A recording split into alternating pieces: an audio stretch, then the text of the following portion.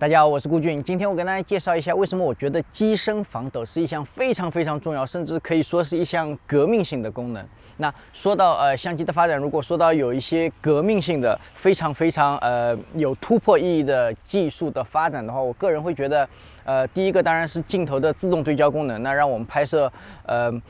顺畅了很多，然后呃对焦准确了很多，然后能抓住很多瞬间。好多相机上面的东西呢，我们期望能够呃是。完全控制，所以我们希望用手动，但是在于呃相机的对焦这一点来说呢，我觉得呃自动对焦是比手动对焦在绝大部分情况下更可靠、更快速、更便捷的一个方法。所以呃自动对焦的出现呢，让我觉得对我们的拍摄呃方法有了很大的改变。那另外一个，我觉得呃。胶片转数码是一个很重要很重要的呃一个过程一个改变，那能让我们更更直观的看到照片，能让我们在电脑上处理更多的呃后期工作，然后更方便。当然之前也可以做后期工作，但是呃并不是每一个人都可以嗯轻松的完成这些后期。那转换成数码以后呢，呃我们储存也更方便，然后拍摄也更方便，然后入门也更简单了，然后后期也更方便了，所以这个也是很重要。那我还能想到，就是说，呃，比如我们有了 Live View 功能，我们在后面的屏幕上能看到，呃，大概我们拍出来的照片是什么样，几乎是可以准确的看到我们的呃曝光。所以，呃，Live View 呢也让我们拍摄方便了很多。那再一个，我能想到就是呃相机的 EVF 功能。那 EVF 是这两年才发展的迅速呢。很早以前，我记得我第一次用索尼的 NEX5 和 NEX7 的时候，那时候已经是 EVF 了。但是那时候的 EVF 并没有像现在 EVF 这么呃明亮，这么没有延时，然后并没有像现在的这么先进。那有了 EVF，我们有了更多的其他的辅助功能，那让我们的拍摄有了更加准确的曝光和更加方便的就是入门这些东西。那所以这些功能都是对我来说是革命性的功能。那今天我要讲的是相机的机身防抖。机身防抖，我觉得也是一个非常非常有突破性的一个新功能吧。当然，这个不是索尼第一个发展出来的，但对于我个人来说呢，真正能让我感觉到这个呃机身防抖的好处呢，是从索尼的 A7R 开始的。这些，这也就是为什么我买到呃我们现在正在录的这台嗯 A6300，它没有。机身防抖这个功能，我感觉到很失望的这这一点，因为我已经习惯了索尼的 A7R，它是有机身防抖的。那好多人会说，呃，这样的体积、这样的价格，它没有机身防抖，其实是完全可以接受的。那对于我个人的使用习惯来说，我觉得，如果索尼愿意把机身防抖加到 A6300 里面，那我我个人其实多出一千五、两千块钱，我都是愿意的。因为有机身防抖，可能在好多没有使用过有机身防抖相机的人来说，他会觉得。其实我并不是太需要机身防抖，因为我手已经很稳了。如果我手不稳的话，我可以使用三脚架。那如果要长曝光的话，反正也是使用三脚架的。但对于我个人的使用习惯来说，三脚架这样的东西呢，它不是我的朋友，它是我的敌人。三脚架，你看到我，我把它拿起来以后，我往后仰了一下。那我用的三脚架已经是算是非常轻的三脚架了，已经是呃碳素的三脚架。但三脚架一方面你要。背着它在外景的时候拍摄的时候是非常非常不方便的。另外一个，它增加你的重量，增加你的负担。如果你把相机放在三脚架上，你拍摄的速度会非常的缓慢。所以就就它是完全对于我来说，我百分之九十九的情况我可以的情况下，我都是不会使用三脚架的。当然有一些拍摄你需要使用三脚架，那但那些拍摄可能不是人像。对，对于我来说，拍摄人像的时候，最重要的我是要能迅速的拍摄，然后我需要。跟跟拍摄对象有一个交流，然后我需要快速的移动我的拍摄机位，我不能在一个地方连拍二十张同样的照片吧？所以把相机放在三脚上对我来说不是一个重，不是一个好的选择。那有了机身防抖呢，就可以让你在绝大部分的情况下，哪怕是夜景的情况下，你也可以呃保证你的快门速度能有清晰的照片，然后你你可以放弃三脚架，然后你拍摄的更快更顺畅。那如果我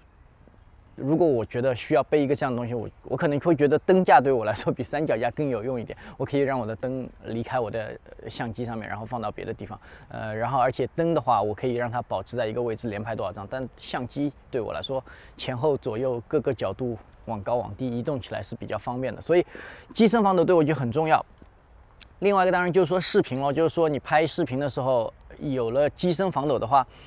你手持，如果你在不得已要手持的情况下。嗯，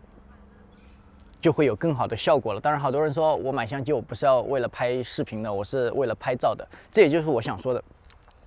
机身防抖不仅仅对视频有帮助，对拍照其实帮助也是非常大的。另外一个，你可以想象一下，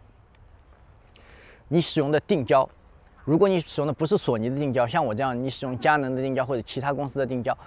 百分之九十五的相机的定焦它是没有没有机身没有相机防抖的，没有相机防啊没有没有防抖的定焦呢，你使用到有机身防抖的，呃这个相机上面，你就自然而然的获得了它的防抖功能。那防抖功能。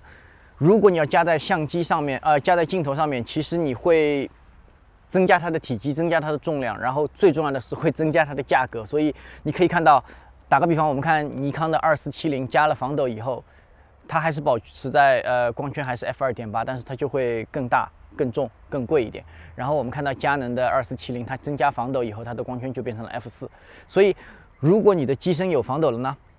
镜头有没有防抖就没有那么重要了，所以你你就可以用更少的价格买到更好的镜头，然后而且还更轻，而且是在转换镜头以后，你也不需要考虑有没有防抖这个问题。所有的定焦能增加机身防抖，保持防抖以后，这对我来说是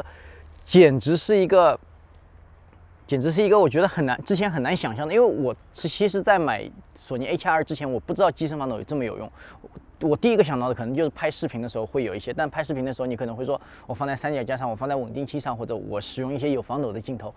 那对我来说有没有机身防抖没有那么重要。但是使用定焦的时候，如果你有机身防抖，让每一个定焦都有防抖，这个简直太诱人了。我的我的八五，老实说，我使用八五拍夜景的时候，我完全可以让我的光圈开到 f 一点二，然后我的快门速度保持在五十分之一秒，我还能保持在。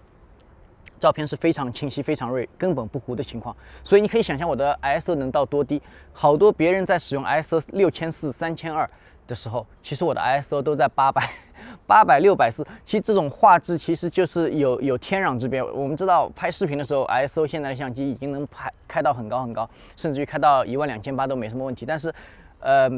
除了尼康 D 五之外，我很难想象有另外一台相机在 ISO 六千四的情况下还是很很。很画质还是很好的。那拍摄照片的时候，其实如果你用的相机是，呃，一六年之前生产的相机的话，绝大部分的相机其实它的 ISO 的分水岭就在三千二。你三千二以下的画质其实都是还蛮好的，蛮能接受的。一千六也三千二根本没什么关系，哪怕是五 D 三这样的相机，除了有好几年，ISO 三千二其实都是没什么问题的。但是你一旦到了 S 六 S ISO 六千四的时候，你在网上的时候。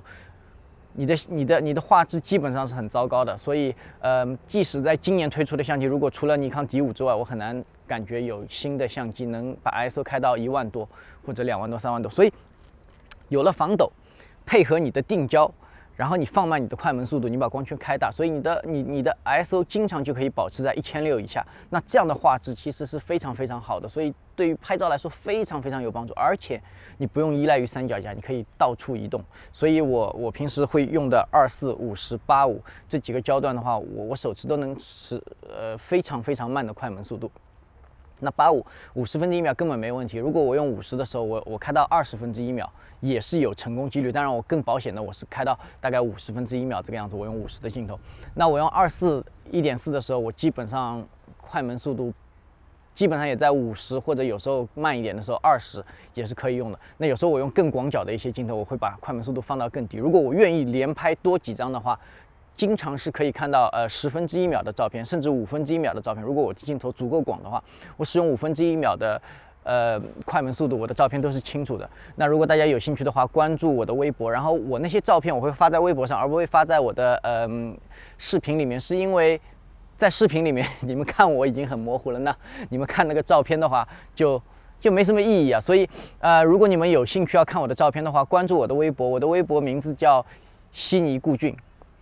所以你可以在微博上搜索我，然后我会持续的发跟我呃视频做的相关的照片跟大家分享。然后有什么问题，你也可以在微博上面留言给我。所以我也知道大家对什么问题更感兴趣，可能我做视频的时候更有针对性一些。所以机身防抖对我来说就非常非常重要，就省你的钱咯，然后就是省你的重量，然后不用带三脚架，不用依赖于三脚架，然后你的所有定焦都有防抖功能，所以对我来说非常非常重要。我希望 A 六三零零下一代，而且我我几乎可以断定 A 六三零零下一代一定会加入机身防抖这个功能。那索尼可能是出于嗯出于 A 七 R 的销量的保护的需这方面的需求，所以他把 A A 六三零零的机身防抖呃去掉了，所以。很可惜，很遗憾。呃，如果不然的话，其实 A 六三零零作为入门相机是非常非常有诱惑力的。你看我之前那个视频你就知道，呃，你配合那些很便宜的镜头，其实在 A 六三零零上面也能达到很好的效果，不管是呃照片还是视频上面。所以机身防抖这个就是我今天要说的，我觉得非常非常有突破意义的一项新功能。如果你还没有使用过的话，推荐你使用一下。呃，我知道不不光是索尼，有很多像奥林巴斯。之类的相机也推出了，呃，很强，甚至可能会更强，或者是我不知道，这但反正是基本上是一样强的机身防抖、五轴防抖。那对于我来说，呃，那些是很好的。如果你有使用那样的系统的话，你可以使用它。但对我来说，真正有意义的，我是需要它是全幅，然后我需要我可以把我的呃佳能的这些专业的镜头能转接到上面进行使用，能能能进行正常工作的。所以对我来说最有意义的是 HR 的机身防抖功能。所以。如果你有相同的需求，或者是如果你有兴趣的话，你可以试一下。我保证你用了以后，你就很难回到那些没有防抖的机身上面了。这个可能是今后会会逐渐普及的，就像就像 Live View 这样的，就就会慢慢普及开来吧。因为真的非常非常有用。好，今天的话题就讲到这里了。我是顾俊，希望大家关注我的微博悉尼顾俊，然后呃订阅我的频道，然后有有什么问题可以在下面留言给我，也可以在我的微博下面留言给我，转发点赞。好，谢谢大家，拜拜。